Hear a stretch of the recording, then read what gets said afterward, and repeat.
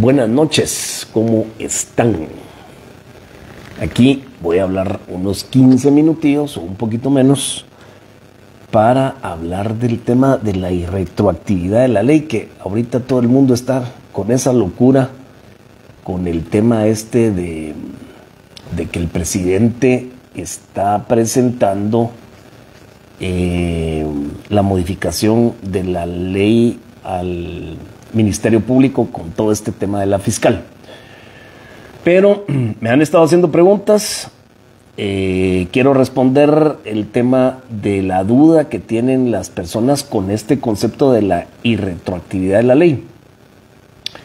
Y como siempre, yo siempre les eh, refiero que, leía, que lean las leyes y les voy a dar cuál, eh, en qué artículos de dos leyes específicamente está el tema regulado de la irretroactividad de la ley. Por la jerarquía, los invito a que lean el artículo 15 de la Constitución Política de la República, que habla de la irretroactividad de la ley y dice la ley no tiene efecto retroactivo salvo en materia penal cuando favorezca al reo. Y en la ley del organismo judicial, tenemos dos artículos, que es el artículo 6, eh, donde habla de la vigencia de la ley, en donde dice que la ley empieza a regir ocho días después de su publicación íntegra en el diario oficial, a menos que la misma amplíe o restrinja dicho plazo. En el cómputo del plazo se tomarán en cuenta todos los días. Esto es con la vigencia de la ley. Lo que nos dice este artículo de la ley del organismo judicial es que publicada la ley, en algunas leyes dice que tiene, eh, entra eh, inmediatamente a regir la ley. Y lo que quiere decir es que de ahí en adelante la ley rige todos los actos en el ámbito que sea. Puede ser civil, penal, administrativo, laboral, etc. Y el artículo 7 de la ley del organismo judicial habla de la irretroactividad de la ley, en donde dice que la ley no tiene efecto retroactivo ni modifica derechos adquiridos. Se exceptúa la ley penal en lo que favorezca al reo, parecida a la de la Constitución. Las leyes procesales tienen efecto inmediato, salvo, que la, eh, salvo lo que la propia ley determine. Entonces, por ahí escuché que el presidente Arevalo dijo que, ah, no, que, que, que le preguntan los periodistas el tema que si esta modificación que están haciendo a la ley del organismo, eh, perdón, del Ministerio Público va a tener efectos retroactivos. Yo lo que y entonces él dice que como no es en materia penal, eh, no impera este tema del concepto de la irretroactividad de la ley. Para no enredarlos es bien sencillo. La ley, cualquier ley, cuando entra en vigencia, funciona desde el momento que se publica hacia el futuro. Ninguna ley tiene efecto retroactivo. La única excepción que hay es en materia penal. Lo que dicen las leyes es que excepcionalmente la ley penal, si favorece al reo, Ahí en el reo meta a la persona que está siendo procesada, al sindicado, al acusado. Si, tiene efectos retroactivos únicamente en materia penal, en donde yo ayer les explicaba, es de que si una persona ya fue condenada y el delito en la que la condenaron, la pena máxima era 10 y después se modifica la ley y ya no dice que, que la pena es de 10 años, sino que de 5, entonces se va a modificar la pena de esa persona que ya fue condenada, porque es un tema penal, va a favorecer a la persona que ya está condenada, entonces en ese momento la ley sí tiene efectos retroactivos. Entonces, ninguna ley tiene efectos retroactivos, en absoluto, ninguna. Solo en materia penal, como ya les expliqué. La otra cosa es que... Em, ¿Qué pasa si modifican esta ley del el Ministerio Público? Yo no he leído el proyecto de ley porque lo estuve tratando de buscar antes de transmitir y no lo encontré. Si alguien por ahí lo tiene, sería bueno que me posteara cuál es el link para poder encontrar esta reforma. Pero lo que yo entiendo es que están modificando el artículo en donde habla la justa causa para poder destituir al fiscal general. Y lo que yo creo que están proponiendo es que quede igual como está en la Constitución y como estaba antes, que solo habla de la justa causa. Lo que tiene esta ley que se modificó en el 2016 es que el fiscal general o la fiscal general no puede ser destituida si no eh, eh, ha sido condenada en un debido proceso y que la sentencia esté firme. Eso es totalmente imposible, ¿verdad? Eso toda la vida va a ser imposible. ¿Por qué? Porque si hay un delito que hay que investigar al fiscal general, ¿y quién investiga los delitos? Es el mismo fiscal general. Eh, imagínense el Ministerio Público presentando una acusación contra el mismo jefe del Ministerio Público. Es, es bien contradictoria esa modificación a todos nos valió madres cuando lo modificaron en el 2016 y así está ahorita. Entonces ahora Arevalo lo que quiere es modificar ese artículo para poder destituir a esta fiscal general. Ese es el objetivo claro, preciso, porque así lo dijo. Ahora, supongamos que sí lo logran y que se modifica la ley, el artículo en donde está el tema de la justa causa para poder destituir a la fiscal. Si se modifica, tiene que ser hacia el futuro. Ya les expliqué el tema de la retro y retroactividad de la ley. Ya les di el fundamento legal, ley del organismo judicial, artículo 6, artículo 7 y el artículo 15 de la Constitución Política de la República. Por favor, lean esos artículos, busquen en Google las leyes, léanlas para que sepamos de qué estamos hablando y no solo criticar por criticar. Entonces pongámonos en el hipotético caso que se modifica la ley. Va a regir desde el momento que entre en vigencia ese artículo y entonces hay que ver si el actuar de la fiscal general desde ese momento hacia el futuro, realmente la fiscal no cumple con su función y es negligente, eh, etcétera, etcétera, etcétera, entonces ahí se formulará la justa causa. ¿Qué pasará? el presidente le va a pedir un informe y el informe no va a ser satisfactorio, entonces el presidente, de conformidad al artículo de la Constitución Política de la República, en donde lo faculta para poder remover al fiscal general y la ley orgánica del Ministerio Público ya reformada, en ese momento va a poder destituir al actual fiscal general. Eso es, si ponemos todo en, contexto, leemos la ley, así es como debería pasar. Ayer les dije que esta ley es una ley que no tiene rango constitucional. ¿Qué quiere decir eso? Eh, para modificar las leyes de rango constitucional, como es la ley, de eh, la ley electoral y de partidos políticos, la de orden público, eh, la ley de la libre emisión del pensamiento em, y las otras dos leyes que ahorita no se me vienen en mente, se necesita una mayoría calificada de 107 diputados.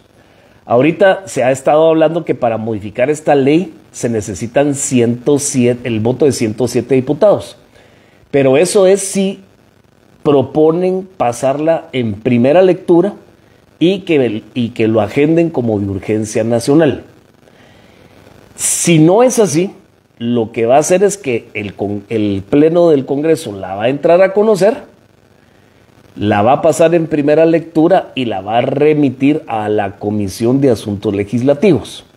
Entonces, ahí se va a ir a estancar ese proyecto de ley o depende del cabildeo que haya dentro del Congreso. Yo escuché a varios congresistas, unos dicen que están a favor, otros dicen que están en contra, otros dicen que de primero tienen que saber cuál es el alcance de la reforma para poder decir si votan a favor o, o votan en contra.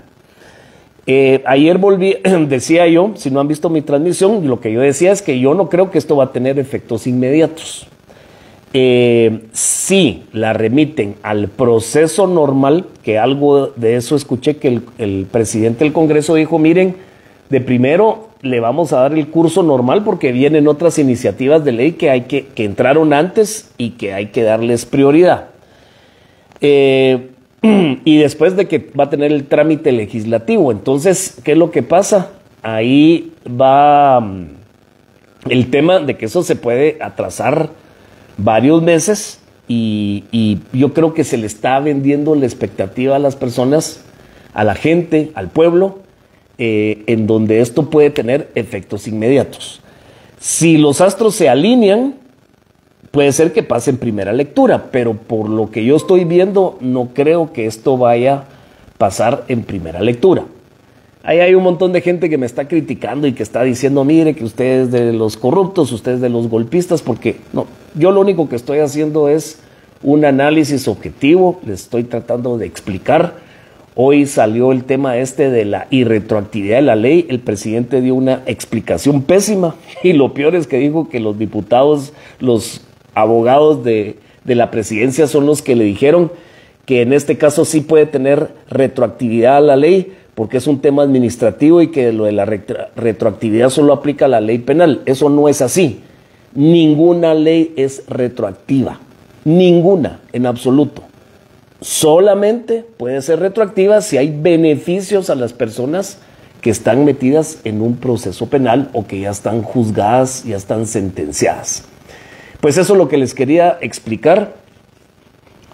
Aquí Waldman me dice, ¿y cuánto tiempo va a pasar en esa comisión si los diputados se van al receso el 15 de mayo? Precisamente eso también me comentaba alguien que, que, que tiene relación y con alguna asesoría en una bancada en el Congreso de la República, que hoy en la mañana me encontré esta persona y estuvimos platicando y él me resolvió algunas dudas, precisamente me dijo esto. El Congreso va a entrar en receso y entra nuevamente creo que en julio. Entonces, eh, eh, por ahí está el tema y yo los invito a ustedes que, eh, que cuando hay una duda, aboquémonos en estos temas de primero el qué es lo que dice la ley. Yo, un abogado que ya no, que ya falleció, siempre me decía, mire, si usted tiene sentido común y el sentido común le dice algo, y usted quiere la respuesta legal, búsquenlo en la ley. Y eso es lo que hay que hacer, ¿verdad? Porque aquí toda la gente empieza a, decir, no, que sí, que la gran diabla y que sí va a tener efectos retroactivos. Entonces, yo lo que les trato de explicar es de que si esto pasara mañana, el, el presidente no la puede destituir por hechos pasados, sino que tienen que ser futuros. Y entonces ahí vamos a ver cuál es el comportamiento de la fiscal general He escuchado a algunos colegas en donde me dicen, eh, mira, eh, esto se está volviendo en un conflicto legal que puede durar meses. Y, ya la fiscal general planteó un amparo en la Corte de Constitucionalidad. Vamos a ver qué pasa con ese amparo. Entonces, solo aclarando estas situaciones eh, que les quería decir, yo pensé que cuando ayer el presidente salió en su cadena, eh, en la cadena de gobierno, yo pensé que él ya tenía esto cabildeado, negociado con las diferentes bancadas en el Congreso de la República y poder llegar con esa fuerza. Hoy hizo el acto eh, público en donde otra vez caminó sobre la Sexta Avenida, llegó al Congreso, se presentó ahí en el Salón de los Pasos Perdidos y dijo que llevaba la iniciativa de ley yo eso no lo miro eh, mal. Yo creo que, los presidentes deben de hacer eso. Eh, creo que es un presidente que, está actuando de una forma diferente. Yo eso no lo miro mal. Eh, lo que miro mal es de que esos pasos políticos que está dando el presidente, yo pensé que él ya tenía más o menos cabildeado con, con algunas bancadas para que esto entrara rápido y se agendara. También son expresiones populistas que levantan los ánimos de las personas, pero lo que pasa es de que no estamos viendo en la realidad que va en función de la expectativa que le eh, meten a las personas, porque la gente ayer ya creía que la fiscal hoy ya no iba a estar en su puesto, y eso yo le miro todavía varias semanas o varios meses que, no va a pasar. Em, posiblemente vamos a ver reacciones en contras de parte del Ministerio Público y así se la han pasado desde que empezó este gobierno de Arevalo. ayer también yo les decía que el presidente se tardó, eh, lo debería haber presentado el 16 de enero porque se esperó hasta ahorita. Hicieron un montón de cosas, eh, plantearon inconstitucionalidades y todo, han estado atacando eh, erradamente este tema y yo creo que esta debería haber sido la línea. Vuelvo a hacer la aclaración, yo no voté por el presidente Arevalo, soy opositor ideológico del actual gobierno de la República. He tratado de reconocer y he tratado de ser objetivo de las cosas que son buenas y las que han pasado con este gobierno. Y he sido un crítico pues balanceado en el sentido de que uno tiene que señalar eh, las cosas buenas y las cosas malas. Yo creo que la comunicación del presidente ha sido malísima yo creo que ha habido errores en temas de comunicación, en temas de fundamentación legal, y eso pues le da eh, eh, mensajes erráticos, mensajes no correctos a la población. Y les vuelvo a repetir, la ley, ninguna ley tiene efectos retroactivos, ninguna. La única excepción que tiene la Constitución Política de la República, artículo 15, y eh, los artículos 6 y 7 de la ley del organismo judicial, es en temas penales, en leyes penales, en que afecten los procesos penales. En este caso, vuelvo a repetir, si entra esta modificación, va a regir hacia el futuro, como lo dice nuestra ley, como lo dice eh, eh, como está nuestro ordenamiento jurídico. No podrían destituir a la fiscal general por actos anteriores a la vigencia de esa modificación de la ley, sino que tendrían que ser actos posteriores. Eso es todo lo que les quería compartir. Que pasen feliz noche. Gracias por los mensajes. Eh, aquí dice Isabel Galdames, eso mismo sino eso mismo, sino otro leak, lo que usted está diciendo. Leak muy de acuerdo, dice. Eh, eh, hola Lick, qué triste la lucha contra este sistema, creo que dice por ahí, Dios misericordia le dice muchas gracias Meidi Morales. Puros pichones, tiene el chucho de asesores, dice. Eh, inútiles, dice Wal, Walman. bueno, eso es lo que les quería decir. Gracias por haberse conectado. Si creen ustedes que esto es de utilidad para otras personas, compártanlo, eh, denles like y aquí estamos siempre a las órdenes. Recuérdense, mi lema es démosle la vuelta a Guate. Mi nombre es Miguel Balcells y hasta la próxima. Que estén bien.